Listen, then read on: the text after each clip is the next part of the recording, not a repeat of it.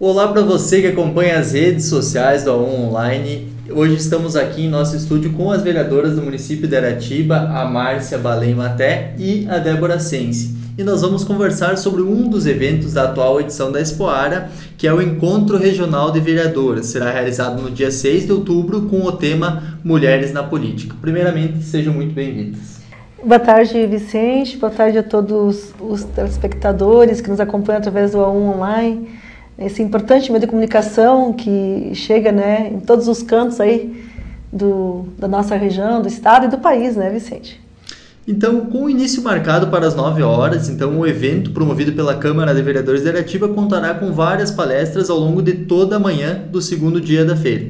Então, após o café da manhã, marcado para as, uh, para as 9 horas, né, às 9h30, a programação inicia com o pronunciamento então das vereadoras Márcia Maté e Débora Sens. Primeiro, Márcio, eu queria que você comentasse como surgiu a ideia da realização evento, desse evento por parte da Câmara de Vereadores lá do município. Uh, então, Vicente, eu e a Débora uh, conversamos por algumas vezes. A gente, em princípio, ia fazer esse evento lá dentro da Câmara. Porém, com a oportunidade da Expoar e como é, geralmente é uma feira muito bem grande, enfim, de, de muita relevância aqui na região, é, decidimos, né, Débora, é, fazer o evento na Expoara. E aí a gente buscou o apoio né, dos colegas da Câmara, da administração, da CIA, que é a grande organizadora da feira, né? Uh, e fomos, uh, né, fomos bem sucedidos uhum. uh, em relação né, a termos o espaço, e inclusive temos um espaço oficial na feira, né? Então até nós agradecemos né, a administração, agradecemos a CIA, que, é a, né, que está organizando toda a Expoara, por nos ceder esse espaço, espaço nobre, né, de uh, oficial dentro da Expoara. Então, que acontece na sexta-feira de manhã. E Débora, comenta um pouquinho qual para vocês, assim, qual que é de fato a importância desse envolvimento feminino na política, seja participando como candidatas, né, vocês são vereadoras lá no, no município de Aratiba, ou também participando ativamente no processo eleitoral como eleitoras que acompanham todo o processo e buscam estar por dentro de tudo que acontece na política? Então, eu, eu acredito que a mulher ela tem um envolvimento diferente na, na política, né? Uh, talvez pela sensibilidade que a mulher busca, e mas muito mais pela representatividade que a gente tem, né? Então, o nosso, o nosso eleitorado, assim, o, o, o, público que nos elegeu, ele é a maioria mulheres, né? Então, nas nossas propostas de campanha, já no nosso mandato, a gente trabalha muito a defesa das mulheres, as políticas públicas das mulheres. Não que não trabalhemos as outras áreas, né? Mas um dos nossos focos é a é as mulheres, né? A gente já trabalhou durante o mandato com outros grupos, com outras atividades e agora a feira é um momento da gente expor um pouco do nosso trabalho também e trazer as mulheres para esse espaço, né? Ah, eu sempre digo que o protagonismo da mulher na política ele é muito importante porque a gente é o espelho das mulheres que estão na, na sociedade. Então, protagonizar esse evento, disponibilizar para as mulheres, é levar uh, informação, principalmente.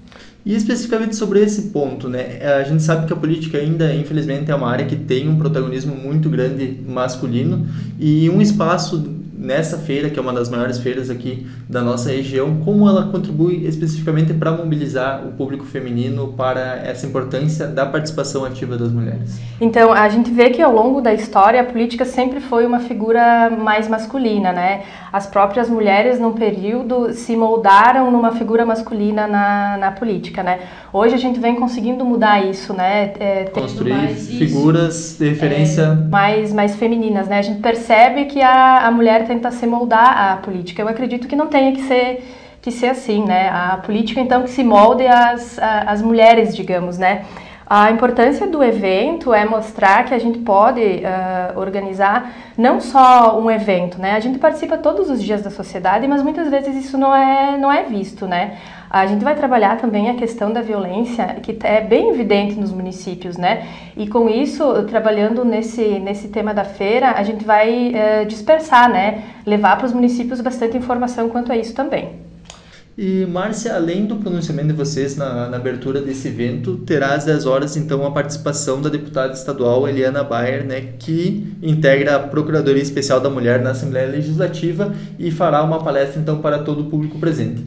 Como um pronunciamento de uma pessoa que é então uma dessas figuras uh, representativas da mulher na política, né, que tem um cargo de tamanha importância aqui no nosso estado, como ela contribui para de fato uh, as pessoas que estiveram lá acompanhando entenderem essa importância feminina na política? É, a, a Procuradoria da Mulher, né, hoje ela, é ela existe desde 2015, 2016, né, é, ela é um tanto nova, né, é, é um instrumento hoje de legal, né, onde as mulheres buscam ajuda, buscam uh, proteção. Então, é, é, a cada de, de, dois em dois anos são feitas eleições, né, onde outros deputados vão assumindo, vai, vai se é, alternando, né. Então, é, é importantíssimo, né, a presença aqui na nossa cidade da Procuradoria da Mulher, em função né, que nós já temos, a Débora inclusive já tinha tentado até montar em Aratiba que a gente tivesse dentro da Câmara uma Procuradoria. É, é, elas incentivam muito, né, a, a, Patrícia Alba, que hoje é a presidente, já tivemos Estela, a, a deputada Estela, a deputada Sofia Cavedão, que foram protagonistas também né, nos anos uh, anteriores. Uh, agora tem a Bayer, né, a Inana Bayer, que é jovem, né, Uh, então, assim, é, é, importante porque dentro das câmaras, se a gente conseguir criar, né, nós já temos vários municípios que têm, muitos municípios que têm. Maria Eunice faz um trabalho espetacular em Canoas, possivelmente também vai estar presente. Uh, temos São Leopoldo, cidades maiores aqui em Erechim, eu sei que a nossa colega Sandra também está tentando implementar. Então, uh, nós também estamos buscando, né, de alguma forma, quem sabe, né, futuramente, ter uma Procuradoria da Mulher. Aqui a gente já tem ah, a Coordenadoria da Mulher, que inclusive vão estar presentes lá em Arativa. Tive agora à tarde também a confirmação da Ana de Oliveira, que vai representar o prefeito Polis, né? Uh, enfim, depois a Débora vai falar também da delegada Raquel. Então é, é importante que essas figuras, né, hoje, né, que conseguiram despontar aí dentro do, né, na área feminina, né, mulheres jovens, políticas, deputadas, vereadoras, procuradoras, delegadas, enfim. É importante que elas, eh, prefeitas, vice-prefeitas, né, não temos muitas prefeitas aqui, mas tivemos a Adriana em Itatiba do Sul que transformou a cidade. Então a gente observa assim que é, a mulher ela pode fazer o diferencial. Então é, a vinda também desse pessoal para nos dar esse suporte é extremamente importante, né? Então a gente começa a programação com o café da manhã, queremos convidar todas, né? Terá também o pronunciamento das autoridades, depois então a, a participação da Procura, Procuradoria da Mulher de Porto Alegre, e depois temos a Joana, né? Que é, é, é uma mulher espetacular, que é uma advogada, que eu já tenho presenciado algumas falas que ela tem feito, né? Dentro desse espaço de poder, a desigualdade de gênero que existe. Então, a gente não vai abordar só a questão política, mas também a questão da igualdade de gênero, né? Do quanto as mulheres precisam ocupar seus espaços. E a Joana, ela esteve, ela fez um doutorado na, na Espanha, então ela tem assim um conhecimento espetacular. Então vale muito a pena as mulheres prestigiarem, né? E buscarem, né? Acho que a gente precisa se ajudar, né? A gente está aqui enquanto mulheres para nos fortificar, para nos ajudarmos. E a gente fica muito feliz, né, Débora, termos assim pessoas tão renomadas, né? Uh, como né, essas figuras, e temos também o pessoal de Aratiba que vai estar participando, que é a nossa psicóloga Cissa, e acho que a Débora também pode falar da delegada Raquel, né, que também é aqui de Erechim, que vai estar lá presente, falando sobre a questão da violência. Então, acho que é um evento, assim, eh, regional, extremamente importante, para, aberto para todas as mulheres, não só para as vereadoras, mas para todas as mulheres. Márcia, uh, eu queria que você falou sobre a palestra da doutora Joana, né, que vai estar participando lá também, falando sobre essa, essa temática da desigualdade de gênero e como as dificuldades que estão envolvidas no processo da mulher ocupar o seu, as suas posições de poder na sociedade. Você que além de vereadora no município de Aratiba também exerce um cargo de liderança dentro do Centro Hospitalar Santa Mônica aqui em Erechim, queria que você comentasse quais os principais desafios você percebe como mulher no, no trabalho desenvolvido, tanto na política, tanto no, na, na empresa que você trabalha, como é esse processo e o que a gente ainda precisa caminhar para mulher realmente assumir um, uma posição de liderança. É, as mulheres... De protagonismo. Exatamente, nós estamos muito tímidas, digamos assim, né? É, eu acho que a mulher buscou, não tem dúvida que a gente evoluiu muito, né? Da época lá das nossas mães para hoje, hoje a gente tem muito mais espaços, muito mais reconhecimento nas empresas, na comunidade, na sociedade. Eu mesmo dentro de Santa Mônica me sinto muito lisonjeada e nunca, né, Vou agradecer o suficiente a essa empresa que me projetou tanto, que me valorizou tanto, onde eu pude fazer um mestrado na URGS, onde da URGS eu vim para ser candidata, né? Foi de lá que surgiu também essa ideia, né? Além da história da minha mãe, óbvio, né? Como uma liderança política. Uh, mas, assim, a gente, a gente precisa buscar e a gente consegue, né? Eu consegui esse espaço dentro do Santa Mônica, né? Mesmo estando um público praticamente masculino, né? Lá a maior parte são médicos, homens, né? que estão à frente também da administração, mas eu consegui alcançar hoje talvez o, né, o maior cargo dentro da empresa depois da direção. Então, assim, eu agradeço muito né, essa oportunidade que a empresa me deu, mas hoje a gente precisa avançar mais, né? Então, eu fui ser política, eu preciso, a gente precisa avançar mais, a gente precisa fazer, buscar o nosso espaço dentro da política, porque é na política que tudo se decide. Eu, inclusive, como vereadora, consegui trazer é, muito recurso para Erechim, para Aratiba. A Débora conseguiu fazer um excelente trabalho em Aratiba, na região, está ajudando os municípios hoje, né? Foi secretária da Saúde, então tem... É, nós duas somos da saúde, né? É, assistente social, eu sou enfermeira, né? Então nós temos é, esse olhar também, né? Mais ampliado, né, Débora, para a área da saúde. Mas precisamos é, buscar outras áreas, né? Acho que a mulher pode, e pode e deve, né? Exatamente, com certeza. Acho que é muito importante ocupar esses espaços e mostrar a importância dessa participação feminina em, em todos os setores da sociedade, né? Débora, eu queria que você comentasse um pouquinho, vai ter uma palestra então com a delegada também aqui de Erechim, a Raquel Holberg, que falará sobre a violência contra a mulher, né? um tema mais delicado e que, apesar dos avanços que a gente teve nos últimos anos, entre eles a criação das delegacias da mulher, que são muito importantes no combate a, essa prática, a gente ainda percebe que ela ainda é muito recorrente e, infelizmente, acontece muito e é algo que a gente não pode mais admitir em 2023. Né? Uhum. Queria que você comentasse um pouco sobre a importância dessa palestra e de abordar esse tema durante esse encontro regional para conscientizar as pessoas da importância de, de estarem atentas, de denunciar casos que, que apareçam e maneiras de, de evitar no futuro que isso continue acontecendo. Então eu tenho dois, dois dados que eles são até chocantes, né? Que é o de 2023, que a gente tem 52 mil casos de violência contra a mulher notificados no Rio Grande do Sul só. E agora no ano de 2023 são 36 mil já. Uh, levando em conta que muitas mulheres elas não denunciam, né? Muitas mulheres elas permanecem caladas por muito tempo, porque quando a mulher toma a decisão de, de falar, de fazer a denúncia, as ameaças aumentam, né? Então a, a mulher que já recebe, já uh, é violentada, quando ela uh, ameaça fazer o boletim de ocorrência, pedir a medida protetiva, ela é mais, mais ameaçada ainda. Então a gente trouxe a Raquel, a delegada Raquel, para falar, porque ela vai trazer e nos mostrar quais são os meios, como funciona todo o processo. Agora está tramitando uma lei de uh, auxílio aluguel para as mulheres que estão com Maria da Penha, para quando saem de casa terem para onde ir. Nesse, nesse período do meu mandato, até antes, quando eu era secretária, eu atendi várias mulheres uh, e ajudei a, a, encaminhar. Por isso que a gente tem a ideia da Procuradoria da Mulher. O que, que é a Procuradoria da Mulher? É uma procuradoria que a gente monta dentro das câmaras de vereadores com uma equipe especializada, que pode ser um assistente social, uma psicóloga, um advogado ou um, qualquer outro profissional técnico que vai receber essas mulheres e fazer os encaminhamentos. Então é um lugar específico de acolhimento para as mulheres, né? Por isso que a Procuradoria, da Mulher ela é muito importante. Eu acredito que os municípios deveriam ter sim, porque as mulheres que eu orientei até agora, a maioria delas tem muito medo, né? Então, a, voltando ao assunto da delegada Raquel, ela vai trazer todo esse, esse contexto, né? É um assunto muito delicado, né? Porque eu acredito que muitas mulheres que talvez estejam presente sexta sofrem violência, porque a violência é muito ampla, né? A violência financeira, a violência verbal, né? Então ela vai trazer um pouco disso tudo também. E muitas vezes pode nem se dar conta, né? Isso. Justamente porque ela não envolve só a violência física, que é o, o extremo, né? É. Que a gente... E uh, nos municípios pequenos é muito cultural isso, né? Uh, da violência financeira, por exemplo, né? Onde o homem tem controle financeiro sobre as mulheres a gente nota muito que as mulheres hoje elas veem uma liberdade a partir da aposentadoria, né? A gente isso, principalmente as mulheres agricultoras, né? Que é um público que a gente trabalha bastante nos municípios pequenos.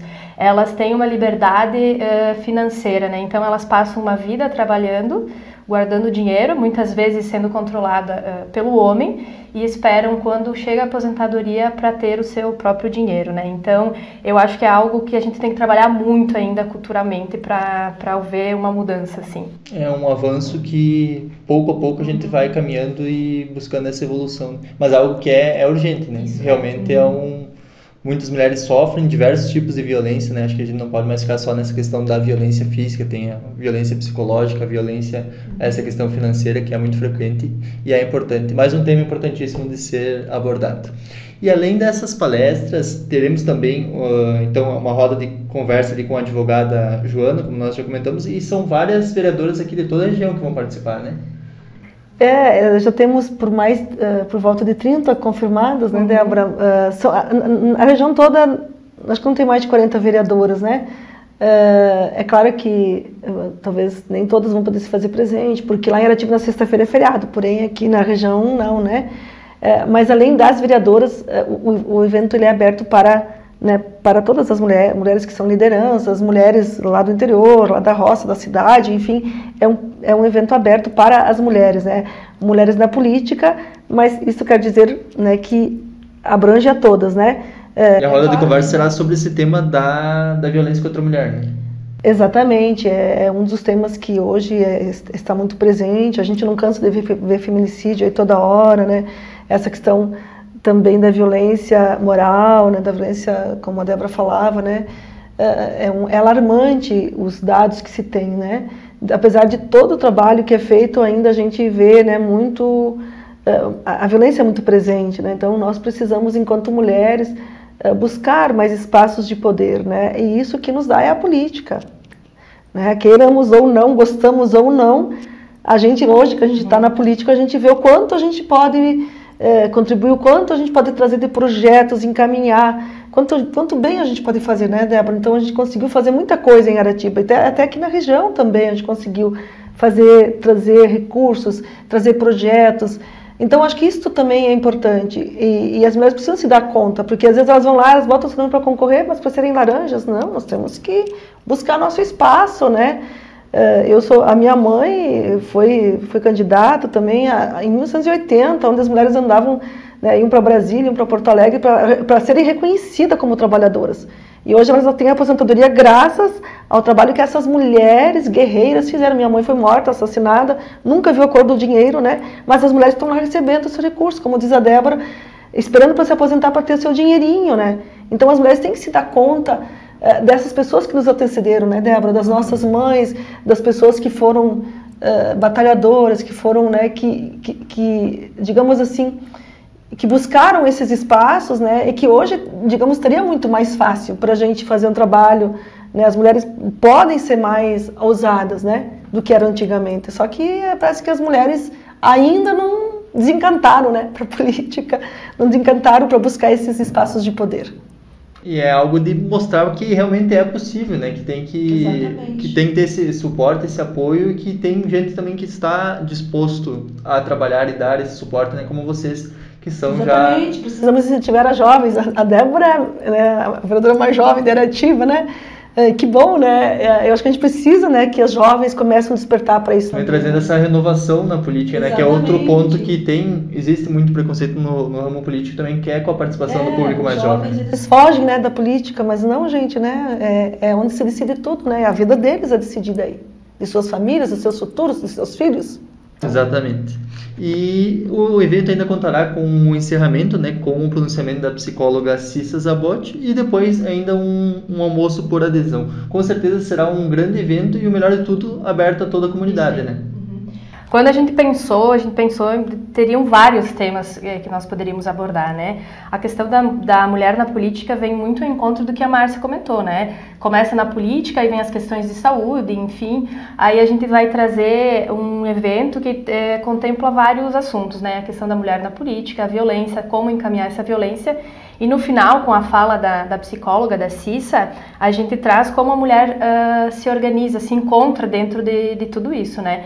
Normalmente a mulher ela tem um, uma jornada tripla, né? O trabalho, a casa, estudo, uh, família. família, tudo isso, né? Então a Cissa traz um pouco como a gente cuidar do nosso, do nosso emocional. Então a gente vai ter um evento que vai trazer um pouquinho de, de tudo, assim, e inseramos com a psicóloga que traz mais a parte emocional. Então fica aí o convite né, para todos vocês que estarão acompanhando a Expo Ara 2023, mais um grande evento a ser promovido no segundo dia da feira, né, sexta-feira, dia 6 de outubro, a partir das 9 horas da manhã, então durando aí toda, toda a manhã de sexta-feira, né, com diversas palestras, diversos debates, a mesa redonda, abordando todos esses assuntos importantíssimos para uh, debater a, a, posição da mulher na política e também em outros espaços da sociedade. Né? Eu agradeço muito a presença aqui da vereadora Débora Sense e da vereadora de Aratiba também, Márcia Balém. Vicente, a gente agradece muito essa oportunidade, agradece ao online, né? E convidamos você, mulher, venha com a gente, venha fazer a diferença, venha participar, né? Tire um dia para você, é só meio-dia, né?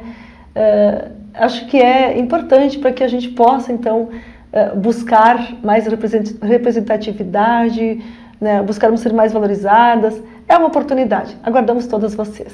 Então, quero agradecer a oportunidade de estarmos aqui. Eu acho que os meios de comunicação uh, estão de parabéns quando nos convidam a participar desses espaços, principalmente quando se trata de um assunto assim. Eu digo que é um assunto polêmico, política e mulher, né? Então, agradecer de coração a oportunidade e convidar todas as mulheres que se façam presentes. Então, sexta-feira, na feira, na Expoara, Feira de Aratiba. Isso aí, fica o convite então para todos vocês acompanharem esse e todos os outros eventos da Expo Área 2023 que serão transmitidos aqui pelo online. Até a próxima.